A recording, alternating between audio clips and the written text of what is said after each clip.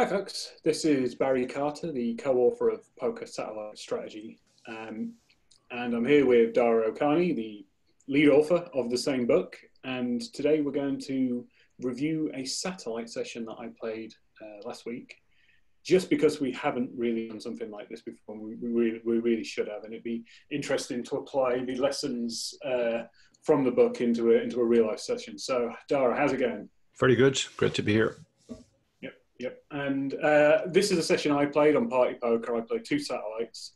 Uh, I am the non-professional poker player for anyone who's wondering. Um, Dara is the expert, so I'm going to play the recording. Uh, we, we've gone with a, a, recording of a session rather than a hand replayer, um, in part because there are decisions that um, uh, in satellites, such as stalling decisions, that really can't be um, easily shown in a hand history replay. And also, uh, uh, I'm playing at party poker here, and every uh, every single hand that you see, you can see my precise position in the tournament during the hand, which is a massive part of satellites, right? Dara, like actually seeing where you are relative to yeah, that's that's up. Yeah, you're right. That's absolutely massive, and also being able to see the lobby in some cases to see what the stacks are like on other tables. Um, like somebody sent me a hand recently, and they asked me you know, is this a caller thing? And I said, it, it completely depends on what the other stacks are. Um, there's, there's no general answer. Uh, sometimes, you know, there might be 15 seats and you're 14 of 16 and you're effectively locked up. Other times, you know, you might be, you, you might be only a 50 50 shot when you're 14 to 15 or 14 to 16. So you need to be able to see the other stacks. Yeah, exactly. There, there can be shots, uh, spots where you're 15 of 15, but you know that uh, somebody on another table is literally about to blind away. I mean, yeah. I've had a few sessions recently where I've had a third of a big blind and I'm two positions away from posting the big, the final big blind, but I've been sort of close to 99% confident that I'm getting the seat by doing nothing. So yes, it is an important consideration. Um, but uh, let's uh, let's play away. I I even um, recorded me registering for these tournaments uh, specifically because I registered late in the tournament. Yeah. And as you can see in the, uh, I just put this video here, um, you know, there's 24, there's 15 players of an original 24 uh, players. So I've, I've already outlasted nine players.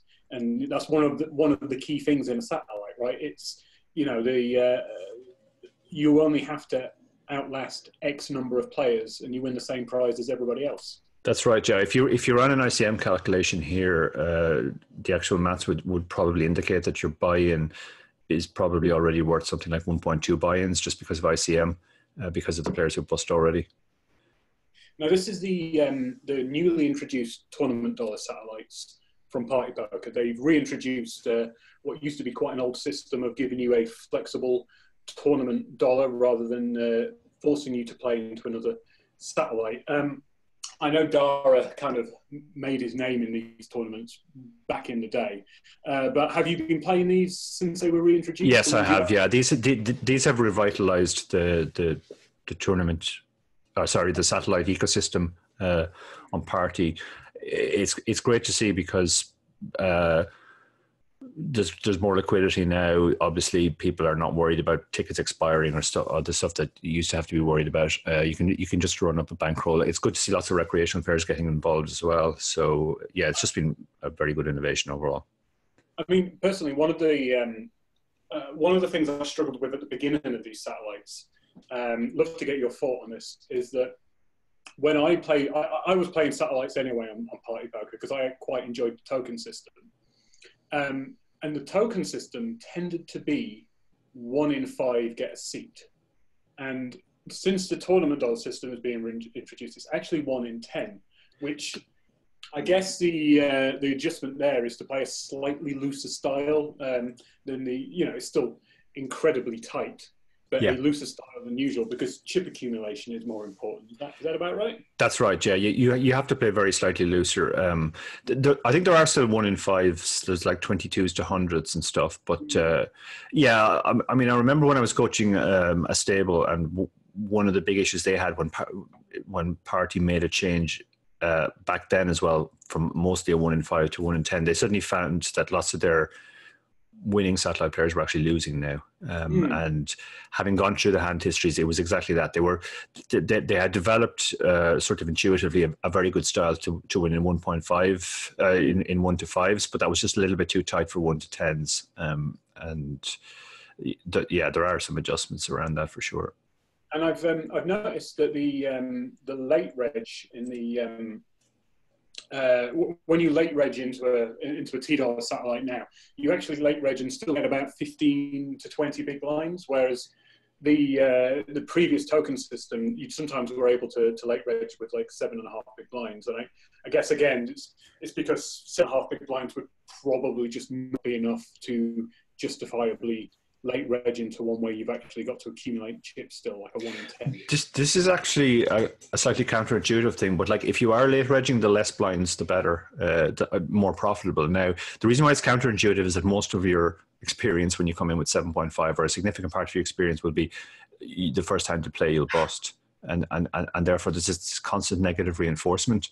Mm. But actually, when you run the maths, you find that if you if you graph the profitability of different stack sizes, um, you'll find that you know obviously like if you're if, if you're a very skillful player and you play the stack correctly then as the stack size increases your profit goes up. So you know when you go from 100 to 200 big blinds uh, you become more profitable. When you go from 200 to 500 etc so as as the stack size declines from 100 down to about 25 uh, don't quote me on this but it's somewhere around there uh, your profitability goes down. But then once there's a, there's an inflection point uh, where it actually starts to become more profitable again, uh, the shorter your stack gets, and the reason for that is um, you the, the, shorter your stack is, there the more spots there are where you steal fold equity from bigger stacks. Um, right, right. And if you t- if you take it to the absolute logical conclusion, like if you could come in with one ante, so hmm. you're you're going to be forced all in uh, on the first hand, that's still insanely profitable for you because what's going to happen? Well, everybody's going to post an ante. If there's eight players at the table, you're getting seven to one on your money. You're going to be up against one or two hands that will get to showdown. Uh, with with a random hand you only need 12.5% equity to break even you probably have like 20 30 40% equity so it's insanely profitable uh, and this is actually true like the shorter your stack gets the more profitable spots there are um, so, really? yeah. I never thought of it in those terms. In terms, in, in terms of stealing fold equity, uh, we'll bench that for the moment because that definitely comes into play in this session. Um, I, I, am pretty certain I folded this hand here. I just paused it because it's like, in some situations, this is a really, really good spot for a squeeze. Like in a regular tournament, this seems like a decent spot for a squeeze because, you know, we've got fold, we, we've got a big stack to make you fold. But do, do you ever flat or squeeze with a raggy hand like King, King Four here, or is it? If the if I had information that the other two players were far too loose and are going to fold far too much to the shove, uh, then I might shove uh, this hand. The, the king is kind of useful because, like, if you know, we can actually be ahead when we're called if the guy's going to call off with Queen Jack. It's just the four is such a bad card uh, that, like, if we get called by fours plus, or we're we're, we're very even even when we get we get called by Queen Jack, it's not much better than a flip, and we can obviously be crushed. So it's just a little bit too weak. It also plays really badly as a as a flat. Now that said, the the the if this was uh, an under the gun opener, um, this is definitely a, a fold because uh, uh, we're just going to be dominated so much, and the hand plays uh, badly. This this is one of those spots where people sometimes call because they say they're getting a price, but the fact that we're getting a price is because there's another player in the in the hand. Yes. And if you're if you're on the equity of King Four offsuit against two, you know, even fairly wide ranges, it's pretty terrible. Um, and it's difficult enough to realize equity. Now that said, there are some mitigating factors here. We're so shallow that if we hit a pair, we can probably just go with it. Although a four won't be great on a on an ace queen four board. Um, but if we hit our king, I guess we go with it, and if we're dominated, we're dominated. But I think it might be borderline profitable, but I, but I would just fold here. It's just um, there there are going to be better spots for sure. I'm, I'm almost certain. I'm, yeah, there we go. And I would have hit my. This this is a this is a board now where we we we would be in trouble. I mean, we're we're basically going to have to probably just go with the hand. Uh, unless it goes bet raise, I guess. Uh, but yeah, against that action, we probably just have to check shove and hope he doesn't have a pair. Yeah.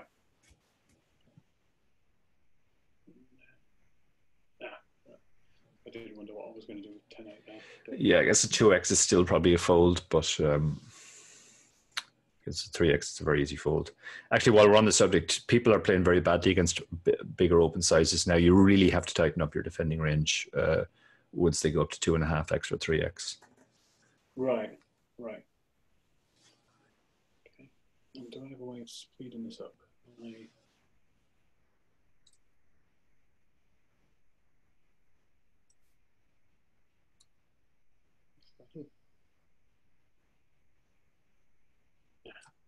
We're about to get aces, so that'll be an interesting one too. Yeah. I am um, as a uh, I, I found myself um, making it pretty obvious that I've got aces a lot in satellites. Where in situations where I'm almost always shoving, I suddenly min raise.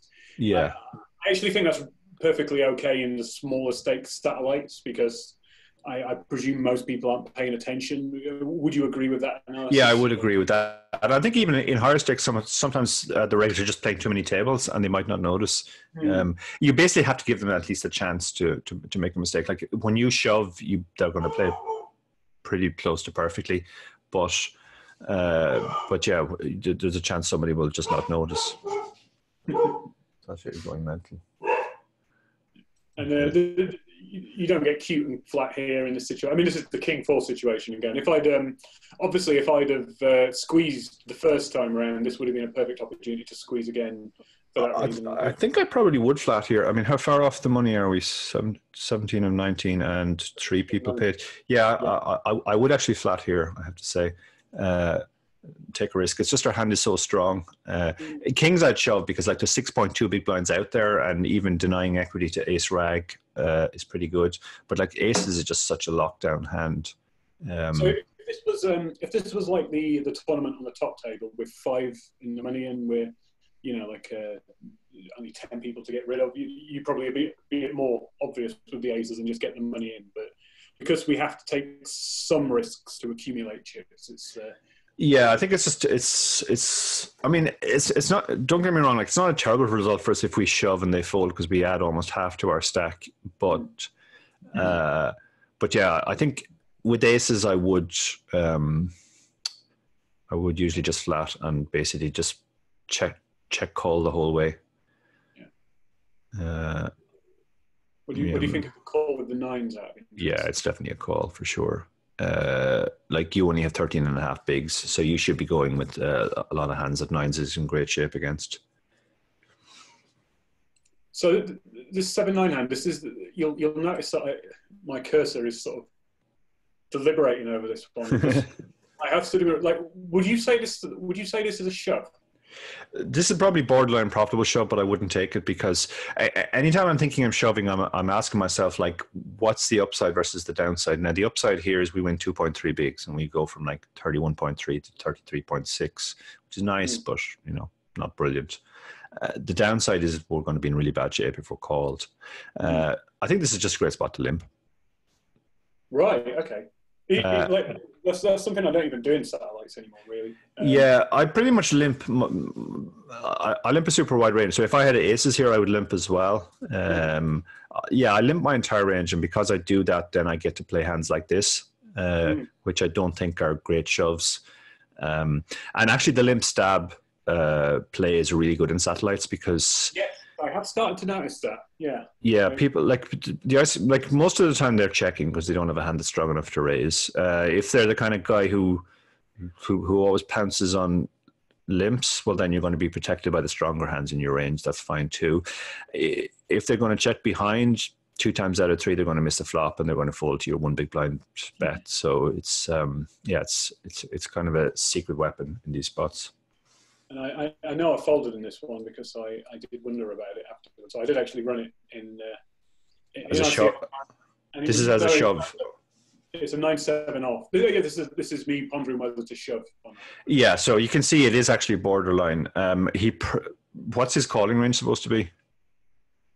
Um, I don't know because this is a screenshot. Oh, it's a screenshot. Yeah, like I think probably people don't call wide enough in these spots. Right. Um, so it, that might push it towards being borderline profitable. But as you can see, either way, it's going to be borderline anyways, which is why I don't like it. Like. Yeah. Even if this was plus 0.05, I wouldn't take it because shoving effectively 22 big blinds to win 120th of a big blind um, is not great satellite strategy. In a bigger buy-in satellite, would you ever lean towards shoving for kind of metagame purposes? To if if if this was one of the best satellite players in the world, I would shove uh, for sure because I'd know they they would they would know how tight their calling range has to be, um, and uh, I think they would actually overfold in those spots for sure. Hmm. Um, yeah, so I, I, did let it go because I was. Uh, but uh, if you ever see me uh, do this on a screen, it's because I'm thinking about it and I want to memorize like, the, the, exact same situation here. Like I know my. I, I know my sort of 20 big blind shoving ranges quite well, and this was another really, really close one for me. Yeah. Like, obviously, we've um, well, we can pick up more of a pot than in the uh, the previous example. But again, what's what's your line with this hand, and what's your shoving range with this hand? Yeah, I don't shove this hand for sure. Uh, this i mean this is a hand i want to play so the question is how do i play it? I don't think it works great as a shove because even though we can win 2.3 it's still in the context of the tournament. Losing 25 big blinds or 24.4 big blinds is if the big blind wakes up with something is pretty disastrous. Winning 2.3 bigs is nice but not major. Um, so i would rule out the shove. We so that that that leaves either limp or raise. Um, this is actually a pretty good hand to limp uh, because yeah. it flop it flops very well, um, and it, it and and it doesn't. It plays pretty well multi-way, so letting the small blind is, in is not a factor. Like if we had a hand like ace seven off, i am more likely to raise that because I don't want it to go three-way. But with mm. queen eight suited, I don't mind going three-way when I'm in position against two fairly weak ranges. Um, so yeah, I think I think limping would be my preferred option here. Generally, the way I would split my ranges, I would I would shove the hands that are clearly profitable to shove. Um, I would raise hands I want to play that I don't want to shove that have a blocker, um, but don't right. flop particularly well, particularly multi-way. And then I would limp some really strong hands uh, like aces like where I'm actually looking for action and um, hands like this that play well multi-way but don't have great blockers. And, then, and and this is all right now because we've got like 24 big blinds effective, so there is still an element of, of playing this. You, you're not. Yeah, this this is this is exactly the stack depth at which limping becomes pretty much the the default with with most of your range. Because if you raise, they have a very wide range of profitable reshoves. But if you limp, yeah. uh, you know, if you if you raise the big blind has there's going to be 4.3 big blinds out there, which is exactly almost exactly 20% of his stack, which is the sweet spot for the shove. Um, he picks up 20% of his stack if he shoves and you fold. So he's going to have a, a very wide range of 20% is actually the the sort of um, the the inflection point for that. But if you limp, there's only going to be 3.3 big blinds out there, so he's only going to be picking up about 15%. So suddenly his shoving range gets a lot less, uh, gets a lot tighter, has to get a lot tighter, and he has some tricky decisions with, with lots of his range where he has a hand which he doesn't want to shove, but but it's a, it's stronger than your limping range, so he thinks maybe he should raise it for uh, for value. Um, and then a hand like Queen Eight suited plays fine as a as a limp call um, because yeah. you're going to be in position. Just, uh, just because I, just to kind of put the point once again, Queen Eight suited was right on the line. Literally right on the line. Yeah, like I don't take those close spots when they're show when they're shoves because you're shoving a lot to to, to win very little. Um, yeah. Like even again, even if that was like plus zero point zero five, I wouldn't take it because you're shoving twenty four bigs effectively to win one twentieth of a big. Okay, so what are we going to do for the break? I'm just, I'm just trying to.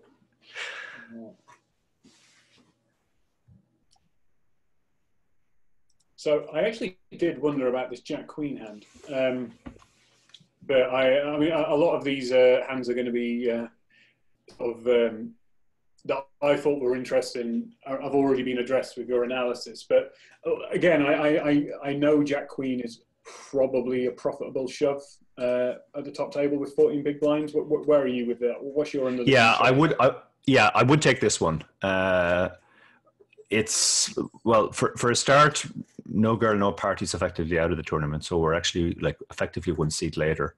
Um, mm the, thing is, you can actually play this hand a number of different ways. Like it doesn't have to be a shove. You can also raise this hand. The problem with raising the hand is, is it's going to be a raise fold and it doesn't have a blocker. Um, yeah. It's not going to be strong enough to raise call anybody. Well, obviously, no girl, no party. We don't. We, we won't even have to click the call. But uh, but we can also limp it because again, same with the queen eight suited on the button. This hand plays very well if people limp behind. Uh, mm. it, it's not the end of the world. So um, yeah, my default would be to shove, and I and and I would take the shove in that spot, but uh, I would sometimes limp it as well at certain tables where there's not a lot of raising going on.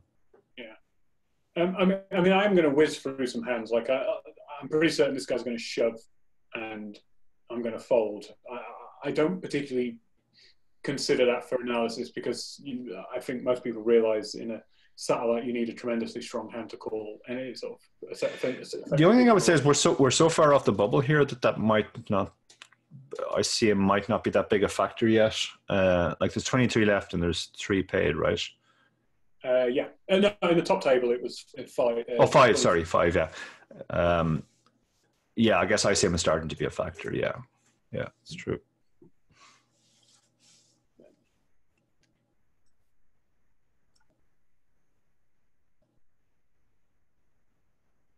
So I guess I folded or timed a king queen to a ship there. Um, okay, I'm certainly going to play this one.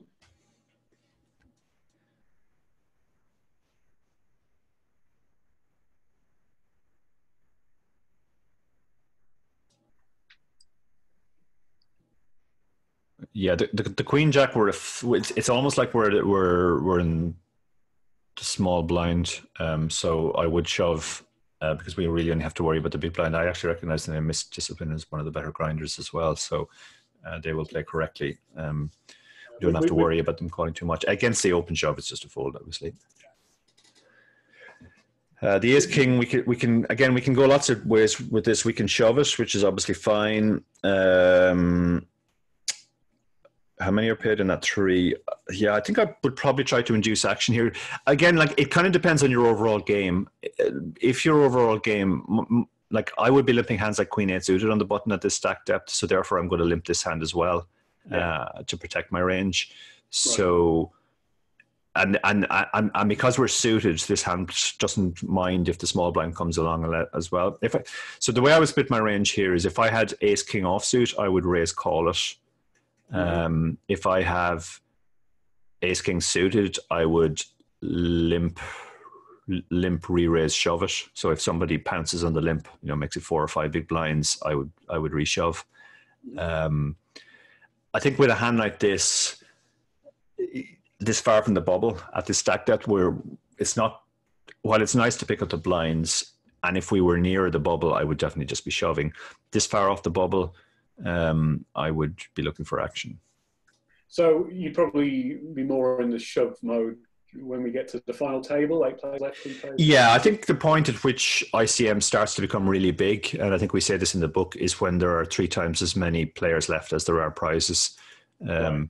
So in a in a situation where there's three seats, like in this one, nine would be the would be would be the cutoff. When you're above that, it, it, it's a difficult balancing act because um, we're far enough off the money that we can't we're in no way locked up and icm isn't a massive factor but we because of the antes we want to be playing a lot of hands particularly in a position which is why like i wouldn't fold the queen eight suited. Um, but if we're going to play weaker hands like that then we have to try we have to protect that range by limping stronger hands as well but it's also good for the stronger hands to induce action. Like if like if we sh- shove that hand and, and the guy looks down and ace two off he's not calling. But if we limp it he might very well go for it. Mm-hmm. um, and that's obviously as good a spot as we're going to get at this point. Uh, jack queen suited in a, in a cut off just shove Yeah. Just shove. As I said, the the the, the cutoff point is twenty percent. So there's two point four out there. Our stack's effectively twelve. So anytime you're adding twenty percent or more to your stack, just shove your entire range. That's there. That's a good heuristic. I like that. Yeah. Pretty soon I can get this one through. What What are your thoughts on? Um, I had a thought about the the big blind view uh, that most clients have now, um, which obviously like it makes decisions a lot easier, especially if you're multi-tabling. I, I've certainly found it a lot easier, but I kind of have a feeling it's actually not always as helpful in satellites because you have have the concept of like a the target stack that you're going for. Uh, you know, for example, if um, if there's 10 seats, a million chips in play, then you want to, the, the average stack will have 100,000 chips. And, you know, we would say get to about 70,000 chips, you probably got a seat locked up. Um, you can't quite easily see how far you are uh, when there's a when you're using the big blind view relatively. Do you, do you change that at all when you're playing satellites? Do you, do that's you... a that's a really good point. I've never actually thought of that. I never use the big blind view because I'm used to using my HUD or or actually when I'm playing on a site like Party or Unibet uh, that doesn't allow HUDs, I can I can do the calculations myself. Uh, it's just something obviously I've been doing for years, so uh, I've just never bothered switching. But I've never actually thought about. It, but you but you're actually spot on. Like the target stack is such an important concept um, that. And, and and and taking the big blind view will obscure it. I mean, I guess you can try and do some sort of conversion, but but then that kind of defeats the purpose because you're doing all this extra maths. Uh, so yeah, um, it's definitely not as useful in satellites. Uh, the ace king, we're in early position here. So even though I said like with the ace king offsuit on the button, or sorry, the ace king suit on the button, we, we are looking to induce action. Here we are probably just better off shove, shoving. I mean, we, we can raise call it as well, um, but well now we're down to 14. So okay, we're not quite at the critical point yet where ICM is is starting to be massive, but it is a bigger factor than than in the previous example. Uh, we're in earlier position. We don't particularly want to get into flips. So if we can show if if we raise ace king and a guy's going to you know reshove fives and we're going to have to call it off, that's not a great spot for us. And there are more people behind who can wake up with those kind of hands. People are not going to go mental with ace two offsuit, as in the previous example, against an under the gun raise. So uh, we're better off just shoving. In, in, general, we should be shoving more of our range from early position and uh, right. taking the other options in later position. Right. Okay. Because yeah, no, that makes perfect sense. Okay. I, I, I just, I'm pretty, I almost certainly folded this, but like 20 players left, you probably actually be considering a defense of this, or maybe a little bit stronger than King Ten offsuit based on what you. I think I would call. I think I would call this, if I'm honest. Uh, it's just we are 16 or 20, so we're sort of. It's not. It's not like we're going to be able to duck and dive our way to uh, into the money.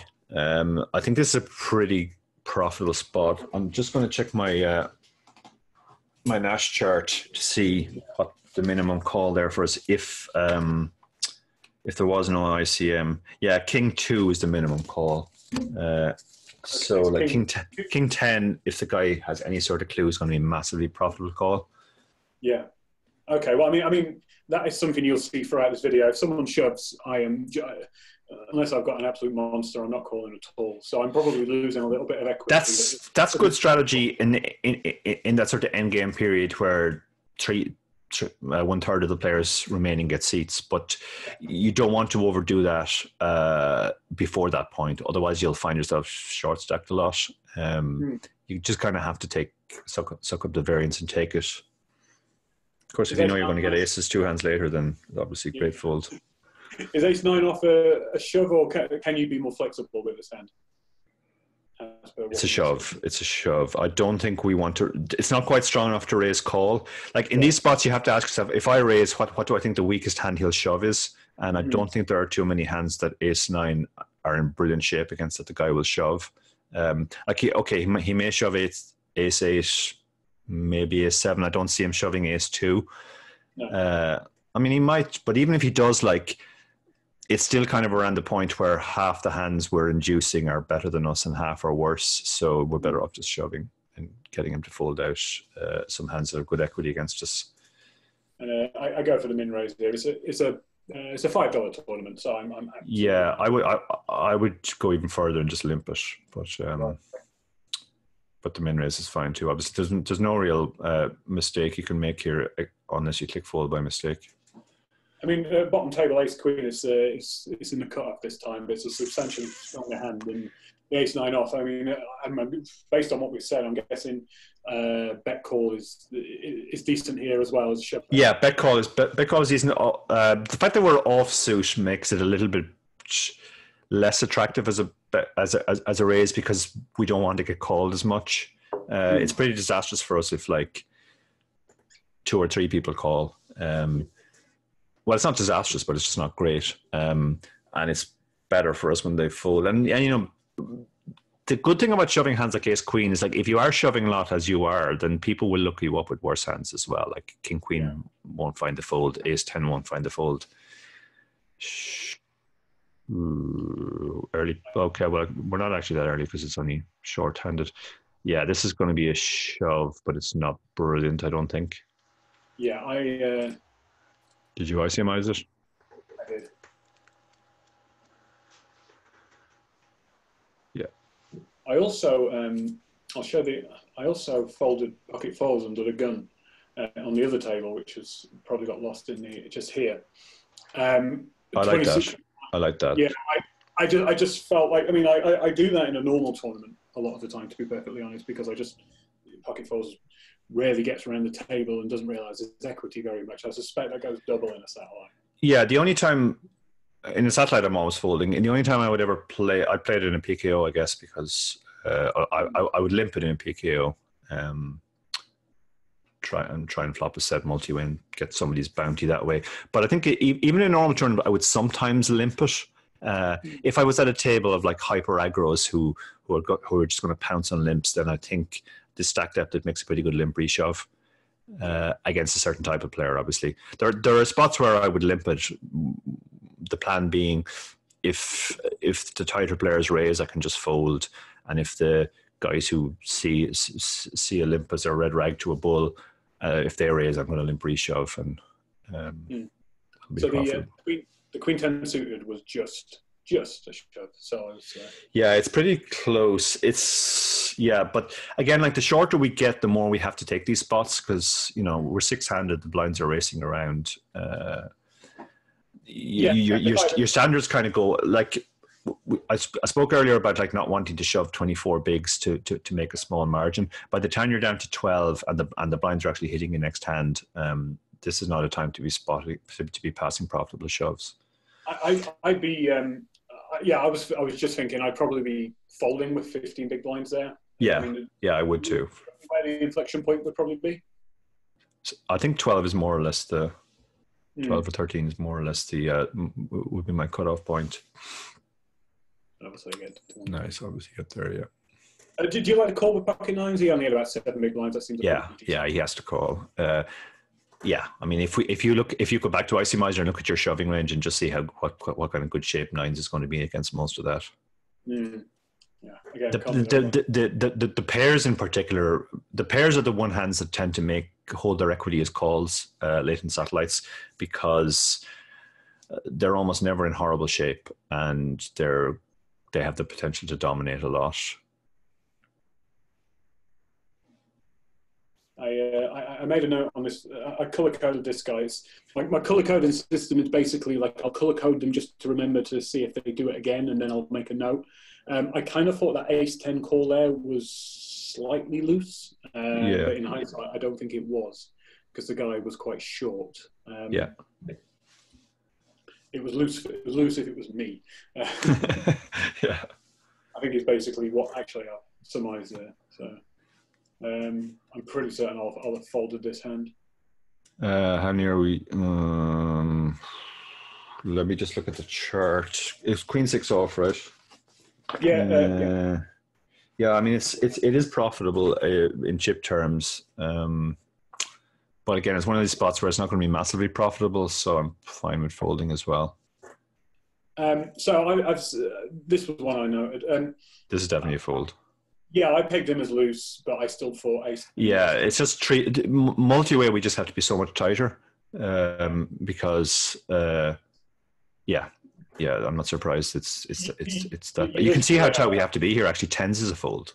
Yeah, ace king, ace king off is a fold. It's um, Yeah, yeah. That, that's that's a really good rule of thumb. Like uh, all all the non pairs are just terrible multi way. Um, Even against like relatively wide ranges, uh, it's just like they're never very far ahead, and you can be card sharing with other people, and you're just going to lose more than half the time, basically, which is kind of disastrous in a satellite. But but you can see the big pairs there actually do retain their equity well. Jacks plus, so I'm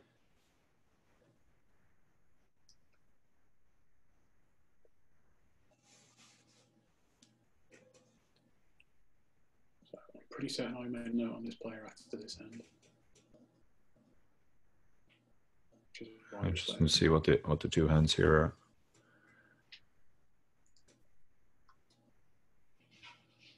He might be What think stalling. about people- What do you think about people who stall get absolutely nowhere near the money? Um, I, uh, I, I, I think it's that to me is a sign of a satellite player who's probably a, a bit too tight. And As a general rule, it is yeah, but you can you can actually um, you can reverse that as well. If like a lot of people think that, so if you if you're doing that and then you reshove, uh, you'll get far more folds than you should. Um, it can be kind of a good level. To be honest, like I I don't actually think it's too early to start stalling here because th- there there are two factors. It's not just the, how far we are from the money, but it's also how far we are from the final table because as you get nearer and nearer to the final table, you're going to be more and more short-handed, and the more blinds and antes you're going to have to pay. So if you can save even like two orbits through stalling before you make the final table, um, you know that can be a significant portion of your stack saved uh, from having to be posted blind. Um, so I'll often start stalling as we get towards towards the final table too, until we get to the final table, and then often on the final table, there's no point in stalling anymore.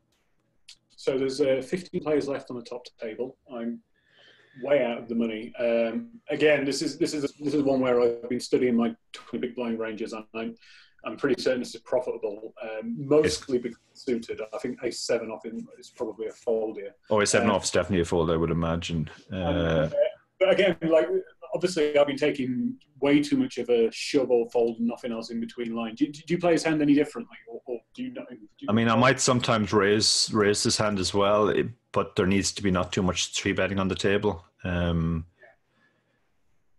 uh, it's the kind of hand which, like a lot, a lot of the time when we raise this hand, what's going to happen is just the big blind will defend, and then we'll u- we'll usually win with a c bet. Um, it's also a hand which it's not a total disaster for us if it goes multi way Yeah, it's pretty easy to know what to do against a three bet. We just fold because we only have a seven.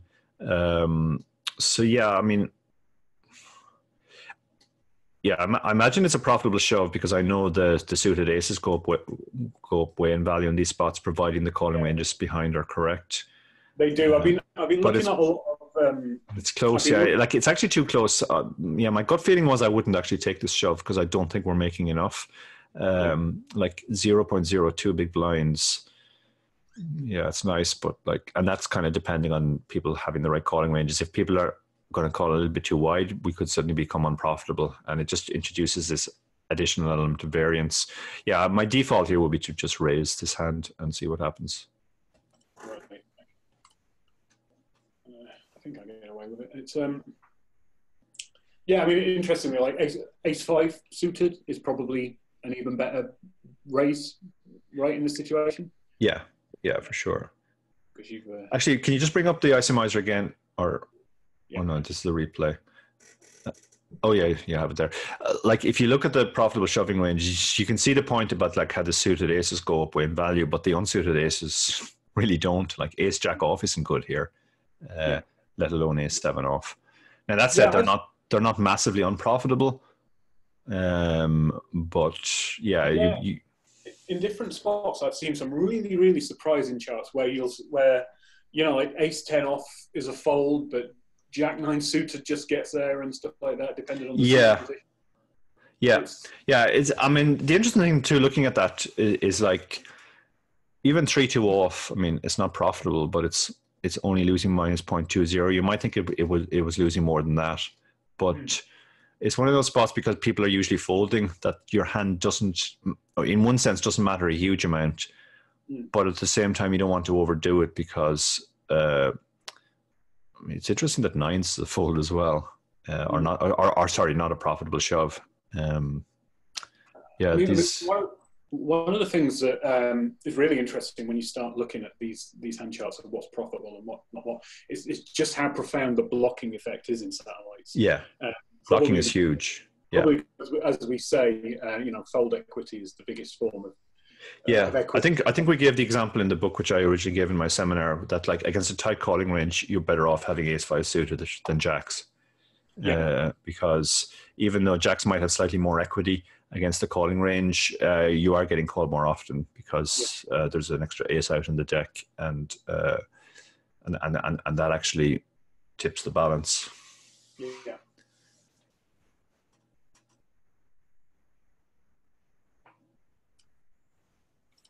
Uh, so Oh, this is interesting. Oh, this is. oh, sorry, your button. Uh, sorry, I thought the the table uh, layout got me confused. I thought the guy had limped.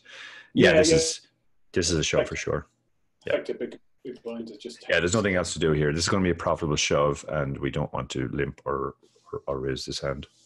And as we just said, we have the blocker, so it's uh, Yeah, we have the blocker, and if he wakes up with kings, we still have a chance. So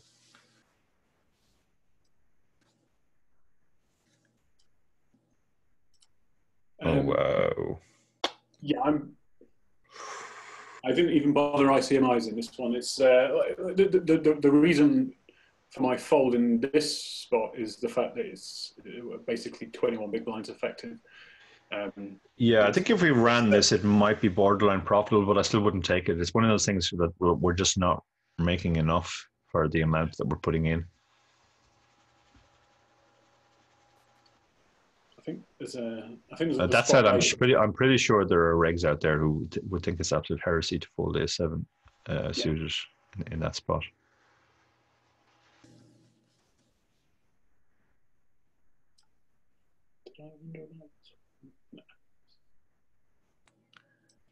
I mean, the seven five you could you could you can actually shove if the if the guy uh if or seven four if if the guy knows how tight he's supposed to be. It's one of those spots where you can shove any two cards. I'm pretty sure because of ICM, but if the guy calls even a bit too wide, it becomes a disaster. So Yeah, I, I- think most of my rationale there is like if it was se- seven four can make a straight, so it, ma- it boosts the equity a little bit in this hand more than some might realise. But I think my rationale mainly for not shoving there is that he's only he's he's about to get blinded down to less than ten big blinds, and that's usually where recreational players kind of think, right, I've got to make a stand, I've got to call with something yeah, that's a good. Yeah, that that's a, that's a really good point. Like from a chip equity point of view, seven six off I think is the bottom of the range here.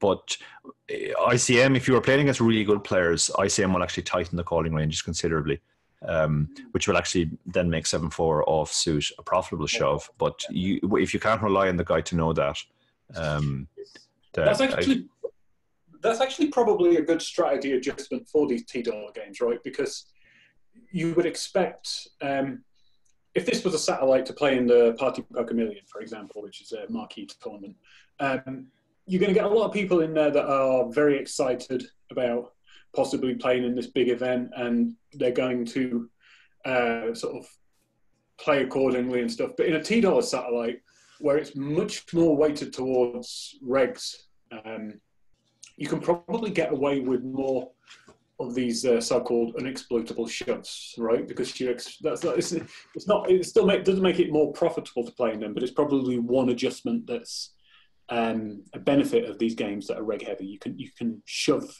in more spots knowing that you're never going to get called.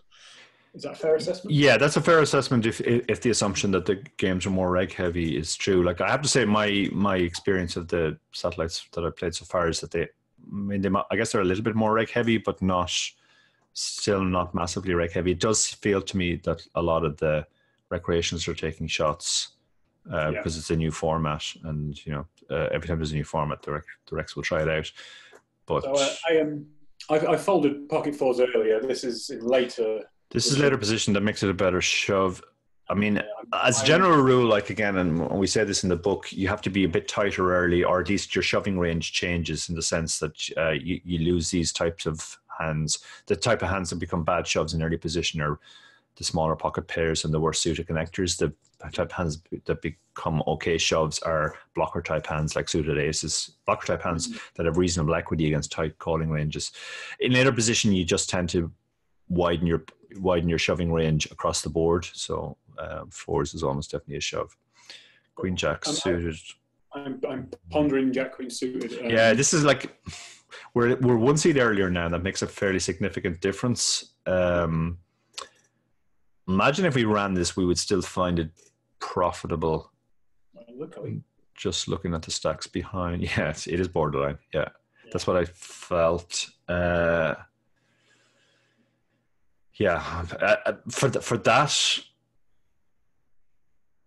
given the situation, I mean, we're ten and fourteen, so like we're we still do have to play, so we don't want to be passing too many profitable spots. But this is only making point zero zero one, um, so I think the fold is fine there. Do, do, do you like? I, I, one of the reason why I don't I I shove or I fold there, I, I don't consider playing it is because I I don't think I'm going to know particularly as a recreational player myself. I'm not sure how I'm going to play that post flop. I mean, would you, um, the great Dara O'Kearney, uh, would you ever raise there? Uh, oh yeah, for sure, and I, and I would limp sometimes as well just to mix it up. Um, yeah sometimes when I, I, again like when I don't have these hands that I don't feel great about shoving, but I do want to play them. If I feel I'll play better than my opponent's post flop, then I'll do something else like limp or or raise them. This this hand is probably a better. Oh, sorry, that that hand is off screen now. But Queen Jacks is probably a better limp because um, we're going to fold it to a to a raise. Uh, if we if we sorry if we open it, we're folding it to a three bet. We don't have a blocker, so we're not making it it's no less likely than a random hand that we are going to get three bet.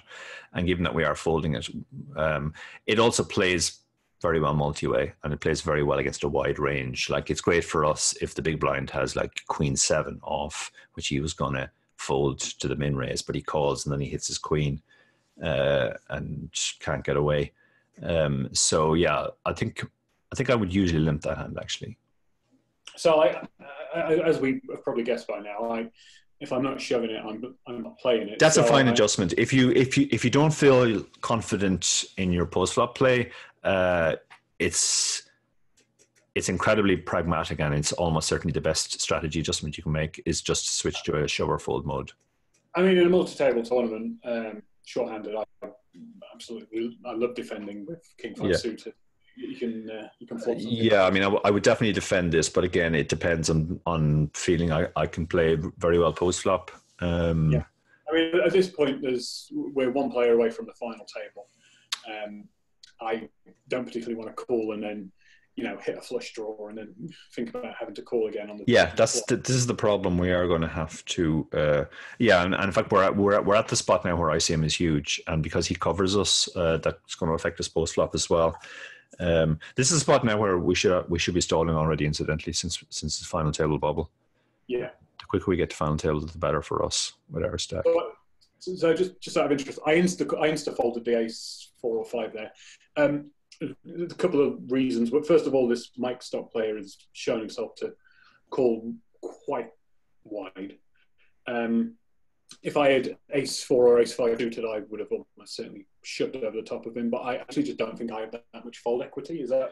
Yeah, if, if uh, he's, he's open to three and a half x, so he probably have no fold equity. Uh, if often guys raise the three point five x with a hand just to make it clear that they're not folding. Yes, um, yes that's kind of what I was. That's yeah. kind of what I see that. Um, yeah. More so in satellite and in, in like final table situations and stuff like that. Yeah.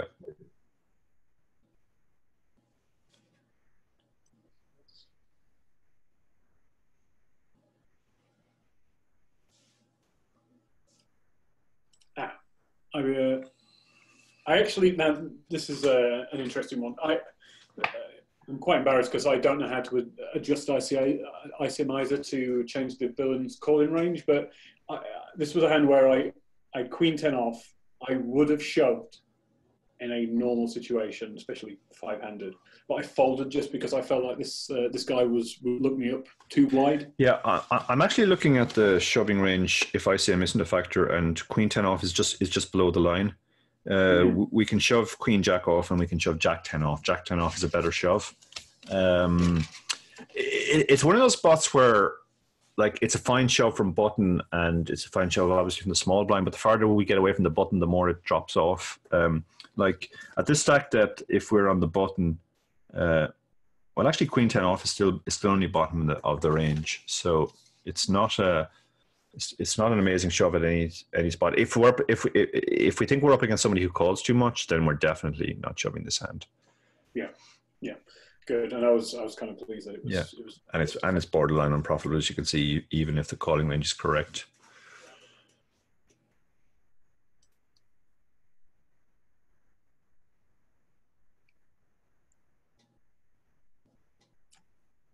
um, but by contrast, I'm almost certainly shoving sixes here. Um, Yeah, In yeah. fact, no, I don't shove sixes. I, uh, you left zero point you three know, I, behind. I leave a little bit behind because now um, stalling is a factor in this. in Right? this Yeah, problem. like it. Uh, it was so long as you also- do the more man and misclick if somebody sho- shoves No, it. no, I'm always very careful Yeah. um, when I do this. I'm, I'm, I'm like, I know where my my hand is. I know where the mouse is over the. And you have a good connection, obviously. Yeah, I mean, I mean, just uh, for people that aren't aware what I'm doing, like I, I've effectively shoved anyway. Like everybody knows I'm committed to this hand, but by leaving a tiny bit behind, um, I achieve two extra things. Uh, one thing is that I get to slow down the hand a little bit even more when if someone if someone comes over the top of me, uh, I can you know drag it out a little, little bit more as we're approaching the multiple. Um, if we had a guy with say 19, 20 big blinds uh, just acting before him, they'd have to re-raise to to get me all in, which would make them vulnerable against his big stack. And this is what Dara refers to as stealing fold equity from the uh, the chip Yeah. leader. Do you want to elaborate on any of that? Yeah, very much so. Uh, like when, when we shove, they have to worry about the big blinds. Uh, it's one of those spots where you're actually sh- you, you you're better off shoving in, in, in all the spots into the chip leader because everybody for when you're coming from early position because everybody between you and him has to worry about the chip leaders uh, and, and not just your stack. Now it's not that big a factor here because the guys are effectively committing anyway against your stack if they go with their hand. But if let's say there's a guy sitting there with 30 big blinds, he's in a much worse spot now and has to call much tighter because he has to worry about the big blind waking up with a hand.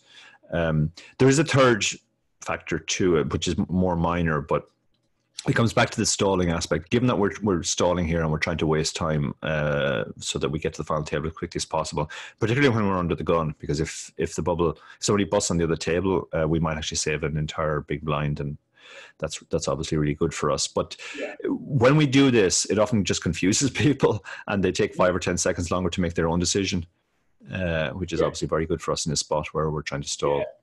And now and then, um, you do get someone who will just call, um, and you know, even if they're if they're the ones to close the action, and then as you know, it may only work one in a hundred times, but every now and then you can just put a third of a big blind in as a pop bet and get a get a fold uh, for someone who's not paying attention. Yeah, that yeah yeah for sure that happens. And and when they do call, obviously we, we're committed, but it also means we get to waste more time post flop. Um, Yes. Like if they check, we can very slowly check and then see the turn, and then we can very slowly check again. And uh, and actually sometimes there's a, the, the, the, there's an, an additional advantage that we sometimes they'll check it down and we actually have the worst hand which they would have called if we'd shoved anyway and okay we're down to 0.3 big blinds which isn't great but we're not completely out Yeah, I, I found it to be quite effective when you're the short stack with a decent bounty in a PKO as well, because um, it, means that some people that would otherwise isolate you are scared to do so because the uh, you've just done it into the big stack.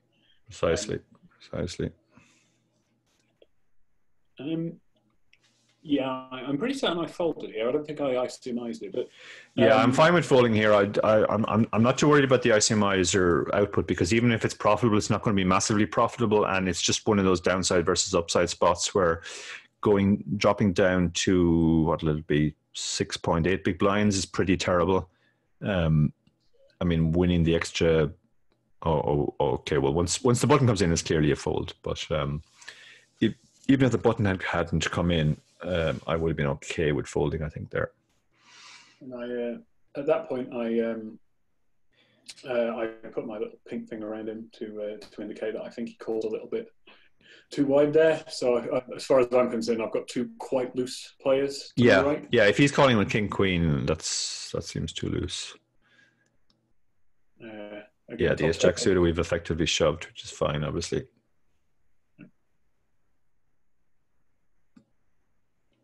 And, uh, yeah, so now you have made the final table, which is good. Yeah. If um if you agree with my reads on the two tables, who are on two players, sorry, who are quite loose callers here, like this seems like a nightmare table position for me. It's terrible, yeah. It's still those, and and and they're both stacked, so yeah. Um, I mean, I'm just getting, I mean, the, the only like I'm getting no shots through, and next to them is someone who's got like you know half the chips basically.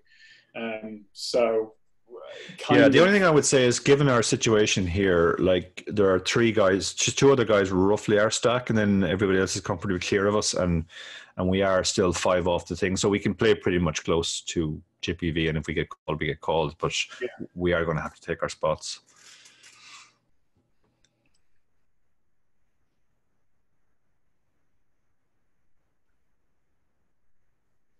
yeah, like the tier seven will, is definitely a spot we should take. Uh,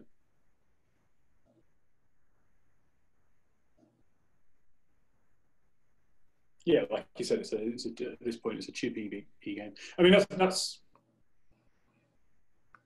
somehow sold.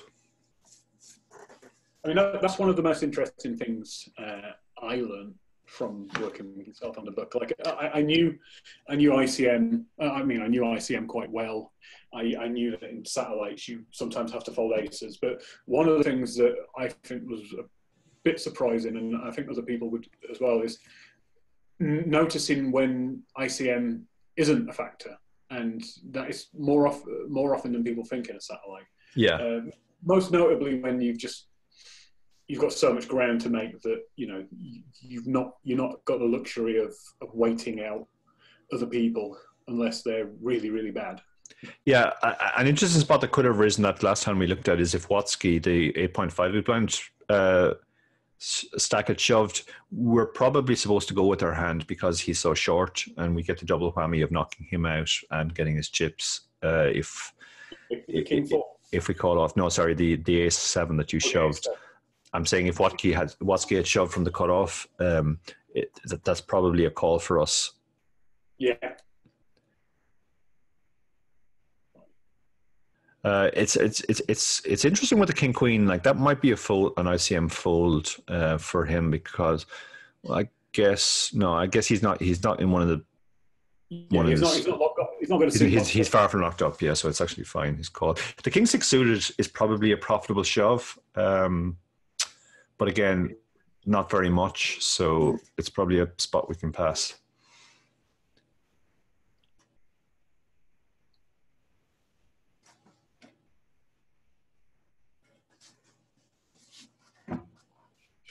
There, I think. Um, oh, well, on the button. That's yeah. It's going to be a just a show. There's nothing else we can do with this hand. Or well, yeah, leave leave a small amount behind. Uh, now, uh, like because uh, so we've uh, we've picked up a, a reasonable stack, uh, of the A7. We've got 18 big blinds. Um, pocket jacks is um, you know we don't want to get we te- we don't want to get looked at by like just a raggy or something like that. So I tend to shove there, but because we're not quite guaranteed a seat. Do you do you ever bet call? I would sometimes. It's table dependent. I think shoving would be my default play if I don't know about the players or, or if they're playing relatively normally. Um, because, like, the thing about when you have players that are too loose, um, they can also make bad calls when we shove. Like, they may call off here with pocket eights or something. Um, so we don't necessarily have to to raise to get the chips in against those hands. But it's good for us if we if we if we get king queen to fold. Uh, and similarly, if the big blind is, is the type who might defend, um, you know, a lot of the time jacks we're going to be looking at overcards. So uh, yeah, I think I would. The, sh- the shove would be the default, but at some tables I would raise call if there's just guys are just uh, if there's a crazy amount of three betting going on or reshoving.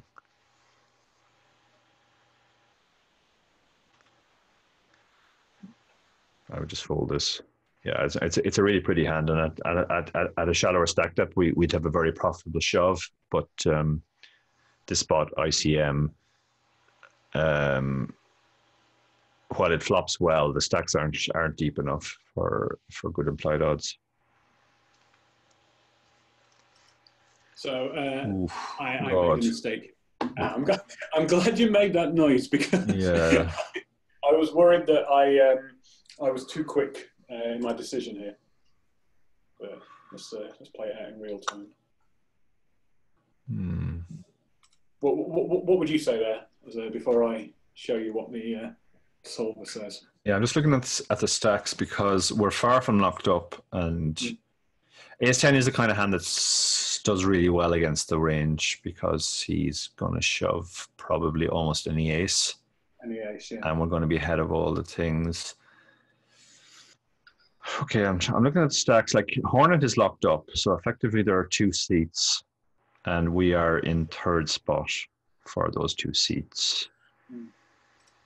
And we're also not dead if we're called. Ugh, probably, probably just about side call, but I'm really not sure.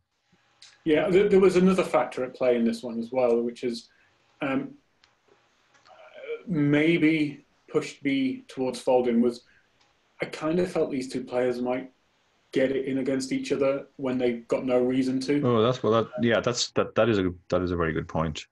Where so like um, if I felt that um, I was going to have to accumulate more chips, um, then I, then I jump at the chance to call with that. But because I kind of felt that he would shove and he would definitely call in a big blind, small blind situation. Um, that marginally, that, that was definitely uh, influencing my decision. That's a factor, yeah. But another factor is that we we still have a shit seat because we still have those two guys yeah. behind us who are likely to call our shoves too wide. So we, we, we won't have as many profitable shoves from late position. Yeah, we should take any small edge that we have, perhaps. Yeah. Uh, and it, it, was a call. Yeah. Wow, it's more profitable than I thought. Yeah, it's just it dominates. Again, if we could look at his shoving range, which I guess we can't, but he's supposed to be pushing twenty five percent. Okay, yeah. Mm. So against twenty five percent range, yeah, the big aces just do really well in those spots because they dominate so much of the range. Mm. Um,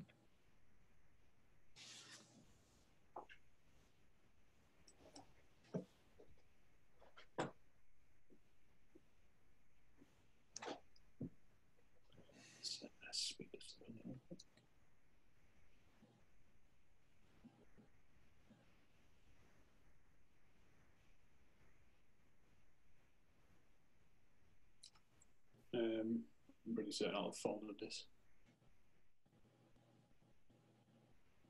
Just because of these two guys acting behind. Uh, ooh. Yeah, the Queen Jack suited. Hmm. I mean, it, it is a real worry that those guys are too are so loose, and then the button as well can probably feels like you can call fairly wide, and the two blinds are short, so they're maybe going to call a bit wider. Yeah, I think it's probably a. It's normally a profitable shove, but I'm I'm okay with folding because there's a there's a strong chance we're getting called wider. This is one of the things about satellites. Like you have to do a risk assessment, not just on what the correct play is, but how likely the, the, the incorrect play is and how bad that will be for us if, if, if it happens. And like there yeah. are spots where like if everybody's playing correctly, we are we have a slightly profitable shove. But if people are going to call too wide, suddenly becomes a very unprofitable shove. And mm. so if if there's a high possibility that that's going of that second scenario happening, then we should fold. Yeah. So on the uh, on the top table, I pocket sixes, uh, five handed. I was the second lowest stack, nine yeah. blind, looked to buy nines. relatively standard, I suspect. Yeah, it's one of those spots where, again, like the bigger pairs hold their equity pretty well. So he obviously feels you're shoving a lot of worse hands.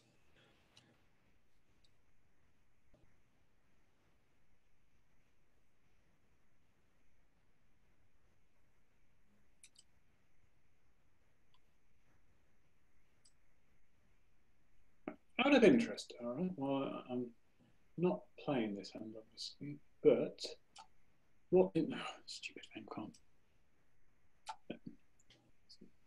This this so um, this player uh, min raises here. I should have ICMized this one because, but it's, it's come to me more. Um, what is your reshove range typically in a spot like this? I mean, this, if, if this is a normal tournament and ICM isn't a factor, this is definitely in the reshove range. But yeah, yeah, the problem, the, the, pro, the, yeah, it, it, it's kind of the same um, same general criteria apply in these spots. Uh, how as as to how shoving ranges, for example, change in early position. Like mm. when we're in early position, um, we still have to go on shoving a lot of hands, but certain types of hands become worse shoves and certain types of hands become better shoves. Uh, and that's mostly down to the blocker effect. Um, and also having equity against tight ranges. It's the example we gave earlier about like ace four suited being better than jacks in, in, in those types of spots. Same thing apply in reshoves because in reshoves we don't want to get called. So therefore having a blocker is great. And, mm. and not having a blocker as, as, as in this spot is not great. And similarly against if the, the the calling range is going to be tighter, or it should be tighter because of the ICM. But that means then we it's important to have hands that have some sort of equity against a tight calling range. And if mm. like if the guy calls us with queens, kings, or aces, we're pretty much toast. Yeah. But if we had like ace rag here, we'd be fine against kings or queens. Uh, right. Well, not fine, but we'd be better shape, and yeah. we would have a blocker against aces, making it a lot less likely he has the aces. So it's it's one of those spots where ace four suited is a better reshove than queen ten suited. Um, so yeah, I, this hand would disappear from the shoving range. Uh, sorry, the reshoving range in a satellite near the bubble. I, I, remember thinking about it at the time because like everyone else is shoving at this stage, and this guy's min raising. Um, you know, for ten percent of his stack, and that's usually a sign to me in a satellite that somebody doesn't play many satellites just because they're not maximizing the fold equity, even in like a short-handed spot like this. Yeah, yeah, that's that that's true, but we we can't. When you're up against a bad player, they might make two two mistakes in the in the hand, which is to raise it in the first place and then to call it off. So uh, uh, this this is a spot now where I would go for it. There's just so much out there, uh, yeah. and there's and there's a really good chance it's getting through, and we have and we have a blocker. Um, yes. And yeah, this is. I'm pretty certain I do this. So uh, I was not concerned about this player because we've seen him. Yeah, he, doesn't I, seem I to know what he's doing. I was slightly uh, concerned with this player. Um, this was this was the reason why I think I paused for a while um, because he has been shoving like in a, like a typical satellite reg would do, and now for him to raise under the gun like that, yeah, is kind of, kind of think, well, that, if that was me, I'd have aces right there. Yeah, but then we um, have we have a blocker to aces, so it's mm. it's it's way yeah, less likely. I mean, he could he can have kings as well, which is not going to be brilliant for us, but uh, not terrible. You, I mean, you're praying for him to have like jacks or tens. Uh, pray, but yeah, but yeah, he shouldn't be juicing those hands. But yeah, I mean, we're really praying for the fold here, but we're also going well. We should have some sort of equity if we get called. Now, in hindsight, before we even ICMize it, I, I should have left a third of an ante behind, just but uh, less of a factor when you, it's the only table that's left. Well, there's no st- yeah. I mean, stalling's not really a thing anymore because we're there's no there's no other table that, that can be playing faster or slower than us. Um, so I tend to do it. Oh wow, that's an awful race call by him. Yes, that's I, I really bad. That is I, really bad. So, uh, and interestingly, Ace Queen off is um, very close, but not quite there. Um, As a yeah, that's probably the yeah. Again, uh, what's his opening range? His opening range is supposed to be twenty three percent guess if he calls wider, it's worse for us, though. Yeah. Um, Yeah, I mean, even though it's minus 0.13 there, in theory, I would still do it in practice because I think the second guy is effectively dead money. Like mm. I, am pretty sure his range. Yeah, like look how tight his range is supposed to be. It's supposed to be 8.3 percent. There's no way that guy's only that guy's only calling top 8.3 percent hands. No, uh, no, that guy's got Jack 10 in his range a lot. Yeah, there's no, and there's no way he's. Uh, it's it's unlikely he's trapping aces or kings, which he's supposed to if he if he if, if he has a calling range there. So so I think he's effectively dead money. So I think that that pushes it over to being profitable. Um, again, this is one of those spots where it's probably profitable to shove if everybody plays correctly behind, but I wouldn't trust them to. So, I, yeah, yeah I mean, uh, the, the, the, shove is theoretically fine, obviously. Uh, yeah, I wouldn't feel great about it, but um, yeah, I didn't feel great about it. Um, on uh, which is why. Uh, it's actually, you know, not even like, if it was like, if it was suited, I, I would have been. You, you, you did you did you have S two off? I thought you were slightly better than that. Ace three off. Ace three off. Okay. Yeah. yeah so minus zero point zero nine. Yeah, oh, it's. No, actually ICMized it wrong. Um, yeah, it's fine. It's it's fine though because we can see the rest of the range. Ace three off is only slightly better. Yeah, it, yeah, I did have that kind of instinctive gut feel. Oh, I don't really like this. Um, and this is an interesting spot, like we mentioned before. Like um, Ace ten off is out of the range. Jack wow, yeah, that's really striking, actually. Yeah, I, I, remember. In fact, when I met, when I talked about that probably 20 minutes ago, I think it was literally this hand that made me think about that. Yeah, uh, a, a, good way to think about that is that like if everybody's playing correctly, there's actually not too much difference between ace two off and ace ten off because ace nine off is not going to call us or shouldn't call us. So therefore, uh, like the the hands are going to call us are going to be better than both ace ten and ace deuce. Um, so there's not a huge difference. It's I mean, obviously, a bit of a fallacy. It's probably a bit of a fallacy to say that ace ten can make a straight because you've got to make a yeah. Yeah, well, you can see ace ten is a lot better than ace. In fact, ace nine is only is only very ace ten ace eight off is as bad as ace two off, which is quite yeah. interesting. And ace nine off is only slightly better, but then ace ten off becomes significantly better than both those two. Um, yeah, it's it, like I guess an important heuristic to take away in these spots is that you, because fold equity is, is vital, you want to be shoving wider in late position. And by late position, I pretty much just mean the button and the small blind. Yeah. Um, because you're not going to get called too much, but you're, you're, you, you are kind of sticking your neck out the window and hoping nobody calls when you shove this hand. And you mm. you are going to be in terrible shape against the calling range. Um, so when ICM is a factor, uh, yeah, these hands disappear. Yeah but the the Jack ten suited, the King ten suited, it's just because we can we can dog them really like in, in better ways. We we we, beat, we can we can flip against the pairs that might call, and we can we block queens, we block kings in some spots, and we've got the suitedness and straightedness about them, right?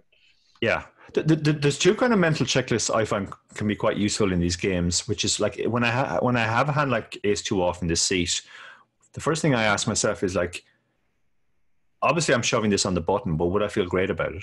And the answer is no, I wouldn't. Uh, like I feel, the, I feel, yeah, it's a shove, but I'm not, I'm not like, oh yes, ace two off, let's go.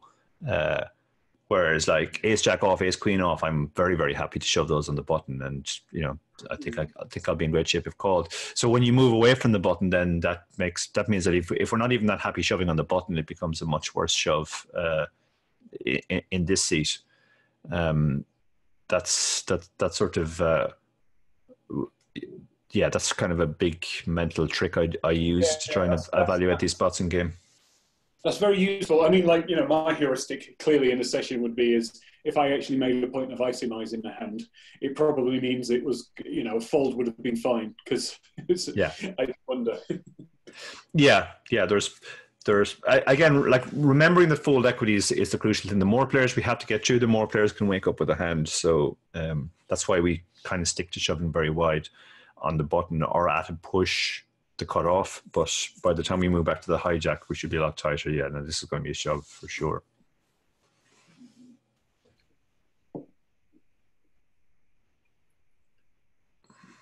Much thirsty. What's this guy make a bad call now?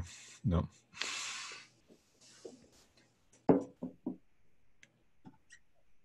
Um, pretty certain I don't have a decision to make because I didn't ICMIze in. This, yeah, I'm pretty certain I just fold this. Yeah, it's it, it might be borderline profitable, but there's no point in taking the risk.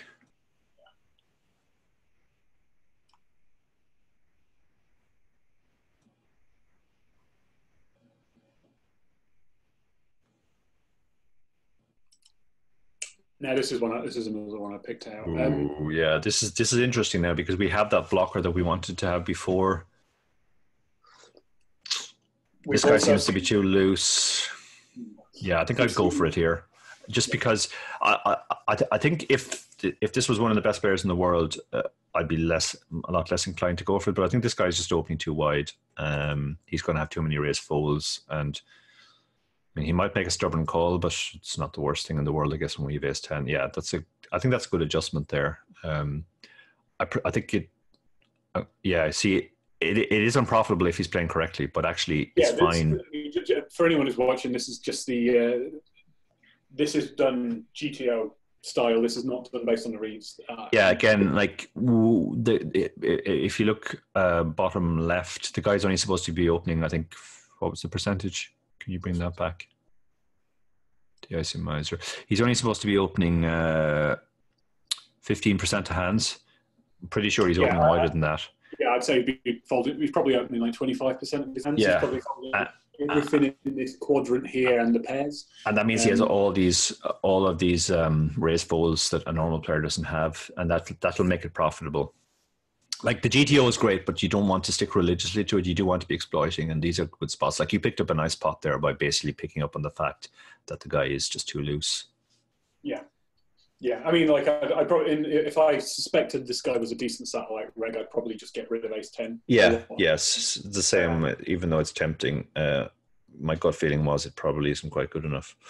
I mean, the, the conventional wisdom is usually, you know, go with GTO when you have no reads and uh, don't when, when you do. Um, I, re- I remember you uh, answered a question by Collin Moshman, you know, like how profitable would you be if you literally went for the GTO line every single time in a satellite? Uh, do, you, do you want to kind of elaborate on that a bit? Because it yeah, it's it's one of those spots we've kind of touched on this before, where like the GTO line works providing everybody is playing correctly behind you, but there are spots where you know you have a spot which is only making a small amount of money as as as a shove or, or a reshove if everybody has the correct calling ranges. But then if you do rejig the ranges in ICE, ICMizer or, or Hold'em Resources calculator, suddenly you find it becomes really unprofitable. Um, so it's it's it's kind of a risk assessment of how likely it is that people are going to make those bad plays and if they do make those bad plays there's no point in sort of going oh well you know they made the mistake i didn't i i, I made the correct move you have to anticipate how likely it is that they will make those mistakes um, you know that, that that whole chapter we have in our book adjusting for imperfection. It's important to realize that when they make a mistake we can end up losing a lot of money. And and even if they don't make a mistake we're not making that much money. So it's better discretion is a better part of valor there and just don't take the spot.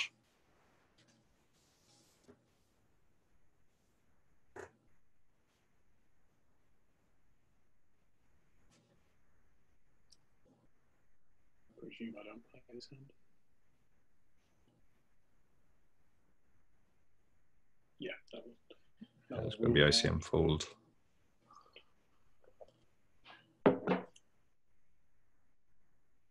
We're actually yeah it's quite interesting now. Hornet has kind of well i guess he hasn't come back. I guess the blinds have just gone up. That's what's happened. But he's still relatively clear and the rest of us are competing for the the other two spots. Now, here we go. This, uh, contrary to my uh, note on him and my read on him, he hasn't actually played that many hands. Probably because the bigger stack is behind him, so he's not had much chance to. Um, Yeah, I mean, Uh, people change. Like when they, when they have a big stack, they often splash around, but then they they they become more circumspect when they're knocked back into the pack. So so we, um, we we have a reasonable read that this guy is quite loose aggressive. He's shoved under the gun. yeah, I'm Um, st- I'm still I'm still not calling uh, for Yeah, ICM okay. reasons. Yeah, I like uh, I think the question again, the useful mental trick here is to try to imagine the the the worst hands that he's shoving. Like, is he shoving ace ten, quite possibly. Is he shoving ace nine. Well, now we're starting to have serious doubts. Is he really shoving 21 big blinds for ace nine with ace nine? Um, uh, King Queen's not great for us because it's almost a flip. So we really need to think about the hands that we're dominating. We know for sure he's shoving Ace King and Ace Queen. Uh, yeah. So that that's two hands that, that that that dominate us. We we think he might shove Ace Ten, but we don't think he's going to shove Ace Nine. So at, at, best, it's going to be one hand we're dominating. Um, yeah. You know, maybe maybe there's some suited aces in there at some frequency as well. But it's but it is 21 big blinds. I mean, you know, even maniacs don't shove yeah, uh, and I was thinking, well, definitely one of the things that um, uh, influenced the decision was that, that, he was shoving, trying to having to get it through past this player that dominates him, um, who, who, has been pretty much tied though. To be fair, um, I mean, if Leonardo was shoving twenty big blinds here, I think I'd have a decision. Uh, yeah, you right. would have a decision for sure because you can imagine him shoving a lot of worse aces. it, would be kind of similar to the uh, the ace ten spot previously. I think I'm patting myself on the back for how quickly I folded.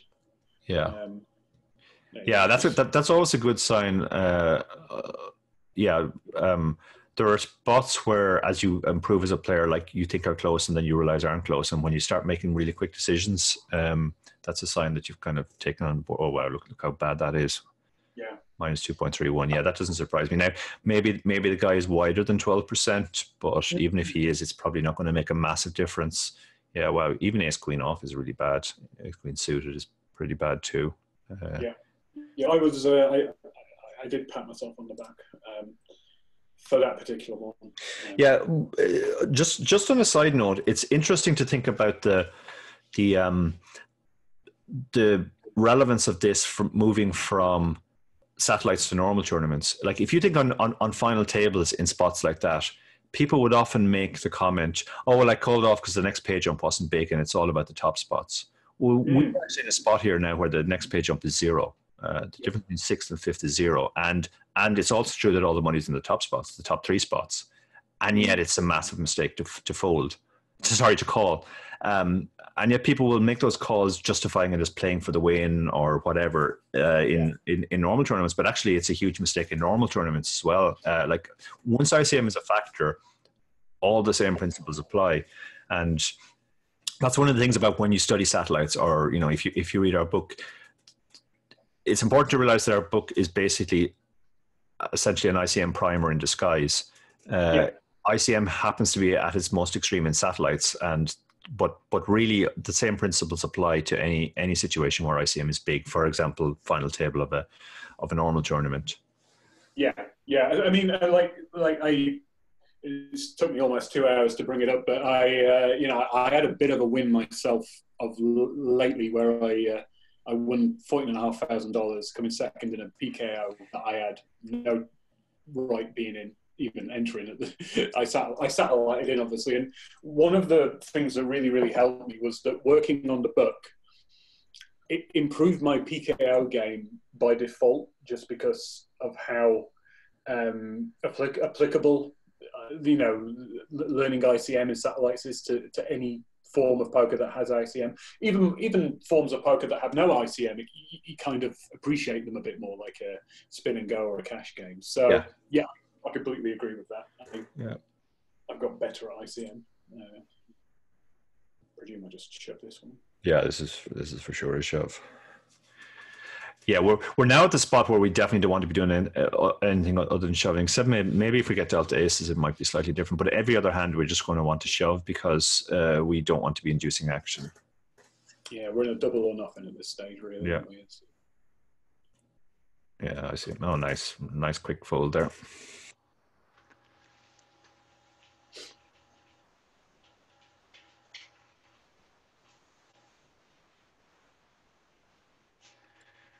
This is the kind of hand which obviously we've seen goes way up in as a shove. So yeah, let's just shove it. We're not going to be thrilled if we're called, but we have that additional equity of the suitedness, and uh, we have the blocker. So we can't just sit here folding. So when we get this type dealt this type of hand, we just have to kind of go for it. Yep.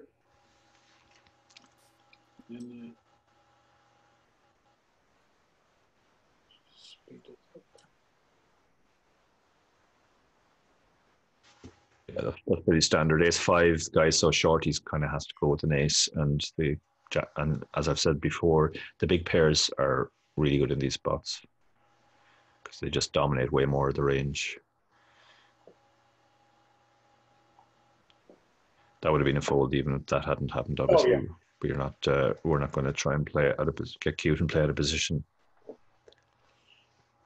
Um, yeah, bizarre, kind of bizarre raise call, but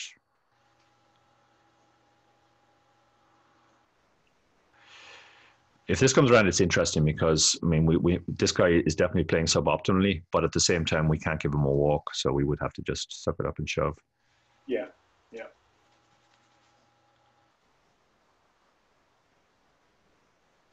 Because they were folding now.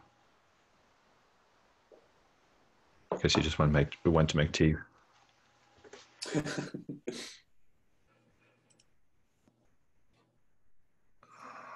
Wow, I don't like that shove with the ace eight. I have to say, that's very. That's one of those spots where, like, okay, you pick up the blinds, brilliant, but like, you're taking a bit too big of a risk. Oh, this is a nice spot now.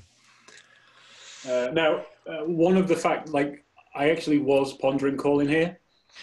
Yeah, I Uh, mean, we could do. Our hand is strong enough, and that guy is a bit is is playing suboptimally enough. He might go mental and just go for it. Uh, I, I, don't think I did in the end, and I think the reason why I didn't do it in the end is because um, uh, this guy is in this exact spot before I had Ace Queen, um, so I kind of thought he might look me up. Um, there's another th- th- there's another factor as well, which is like it's the big blind will, will will will call a lot of the time if we just call, and the small blind might even call, and like ace is four away, not not going to win even half the time. So. Uh, uh, I'm pretty certain I just, I just Yeah. for it.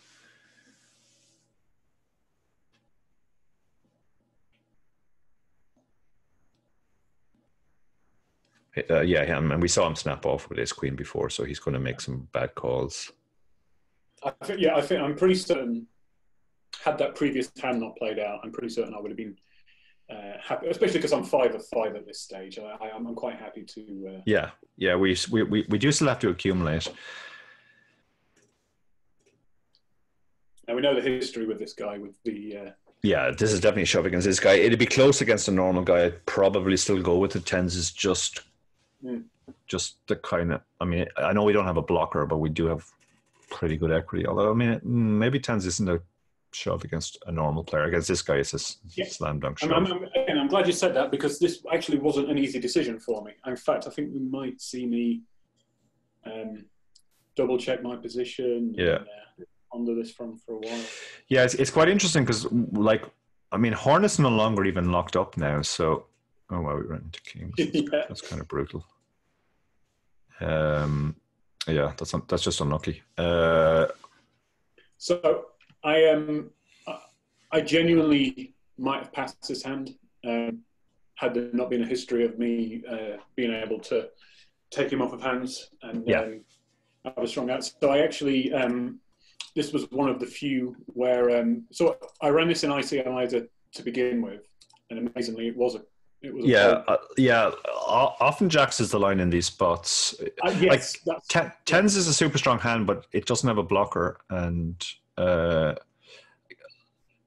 it's kind of the inverse of the way we said, like against tight calling ranges. Like when you see his hand, you much you kind of wish you had his four suited. Hmm. When you see kings, when you when you when you when you're when you're running into tight calling ranges, suddenly hands like tens and even jacks go way down in value, um, and hands like ace four suited go up in value because at least they have some sort of equity when they run into kings. Um, so this is, um, so yeah. this is. I mean, you, you look at that, you nailed it because ace four suited and ace five suited are in the shoving Yeah. range. yeah, exactly. Yeah, Yeah, in the the ability to make straights and flushes uh, adds enough to the equity, and the blocker effect is huge. Yeah. So I am. Um, uh, because it's I was- interesting. It's interesting actually if you look at it that even like pick a bad suited ace, even ace six suited, which is like the worst suited ace, Hmm. uh, is not quite as bad as tens in this spot. Yeah, and I genuinely that wasn't an easy decision for me. I, I know I would have folded in some spots. So I, but I, um, my, my reasoning was was only because I thought he would fold a lot. So I actually did learn how to uh, change his calling range. I was I wasn't able to. Uh, sorry, his opening range, and it just there we go. Yeah, yeah, that's the that's the um, the crucial point. He's probably also opening wider than uh, than he's supposed to as well. So he probably has even more raise folds than we think, which probably pushes it towards. But yeah. when you widen the calling range, those ace four and ace five suits stop being profitable yeah. shoves. Kind of actually confirms your point. Really, yeah. is uh, you should only be. Uh, so that was the final hand of the mm. satellite. And then, obviously, you've never actually watched me play a satellite before. So my only question, um, now that you know the book was about six months ago that we released it, is like, like do you have any um, uh, useful critiques of my game going forward. Like I clearly I was playing like a shovel fold bot for the most part, which I've I've probably overly embraced as a solid strategy. I suspect I need to put a little bit more of creativity in my game. Yeah, I think that's a good that's a good adjustment if you are if you feel outskilled after the flop. Now I don't think you would necessarily be outskilled from what I've seen of these players. Um, so yeah, I, I, would I would say going forward, try and expand your strategy out to just push fold. Now, any like fairly inexperienced recreational players watching, I think basically do as Barry has done in this video. It's a very good adjustment while you're learning the game or while you're improving your post flop play. But where Barry is now, I would say you can definitely play.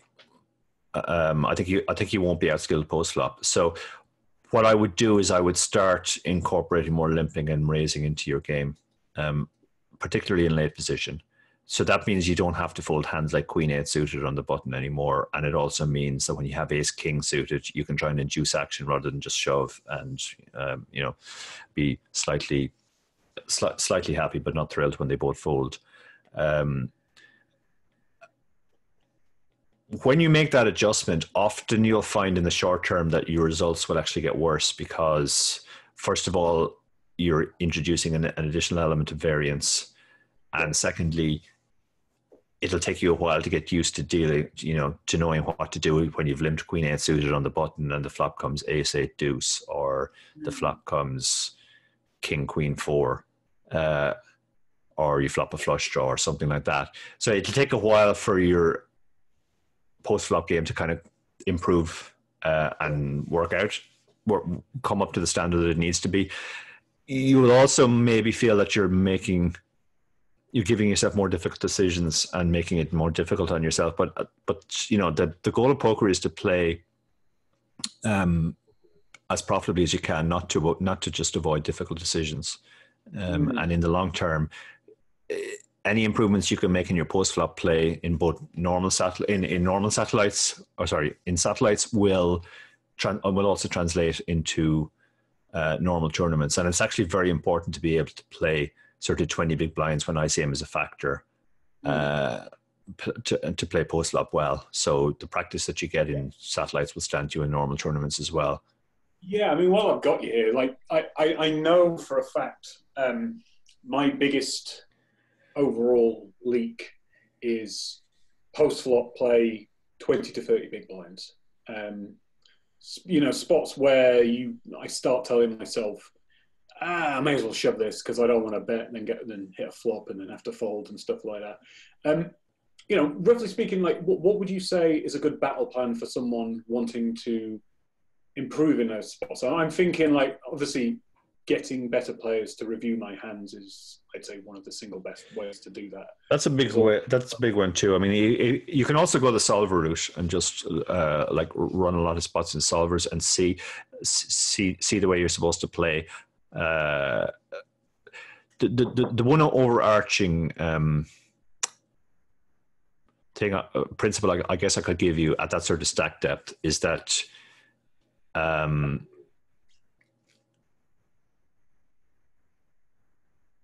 equity equity denial becomes more important.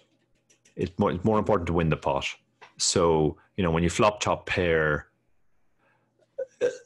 when you when you're 200 big blinds deep, you're never going to want to get it in with like a weakish top pair. Like let's say you've raised queen eight suited on the button and the flop has come queen 10 4. Yeah. But but but in a wide range versus wide range situation, you can very happily get that in on the flop. Uh, mm. Similarly, if you've if you've defended that type of hand and you flopped a pair, you just check raise all in or check raise commit. Um, that's that's going to be fine. So, in a sense, your your um, decisions become easier because it, it, becomes more important to, to deny equity to opponents. So, mm. and you know, if you're if you're beaten, you're going bust anyway. Uh, yeah. Because you know, you, if if you flop a weak top pair out of position, if the guy has you beaten, he's betting all three streets and getting you in by the river. Uh, mm.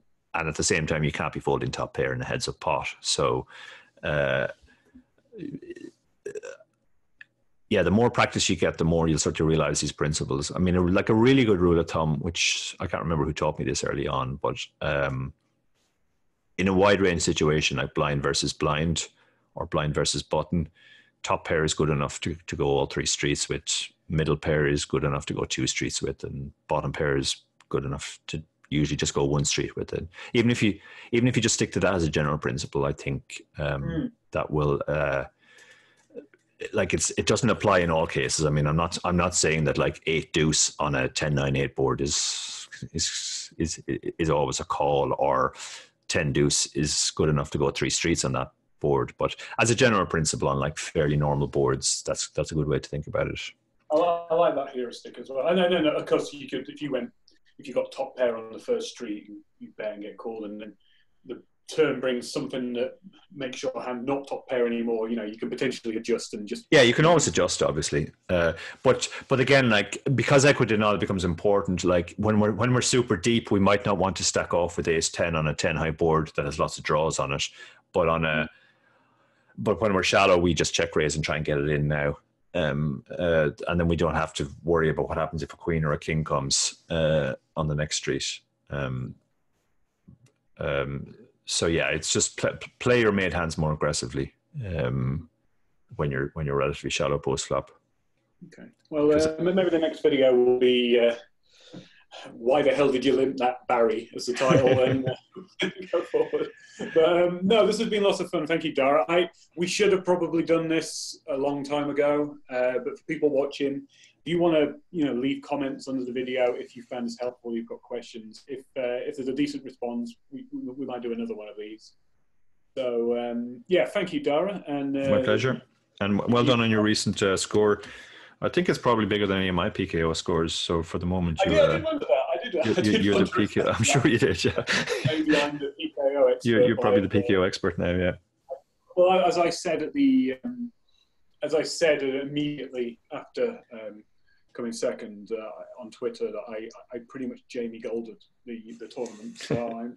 I'm not expecting another one of those results anytime soon. But, yeah, it's still it's still a nice feeling to have, no doubt.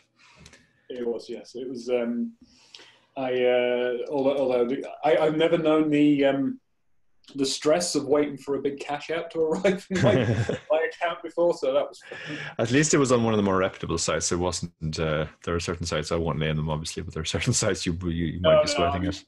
I, I, will say, big up to Party Poker. I, I withdrew. Well, I say I withdrew. I um, I uh, I got ten grand of it and went to withdraw it immediately and accidentally went to the deposit section, so I almost deposited ten thousand dollars into my account. Celebration, uh, but no. To be fair to Poker, the, the money was in my account um, within half a day, so I was. Uh, it was it was a good week. Uh, yeah, it's definitely one of the better sites on the, on, on that front. But um, yes, so thank you for uh, for Dara O'Kearney. I am Barry Carter, and if you like this video, leave us in a comment in the uh, in the comment section, and we may make one. Thank you. Thank you.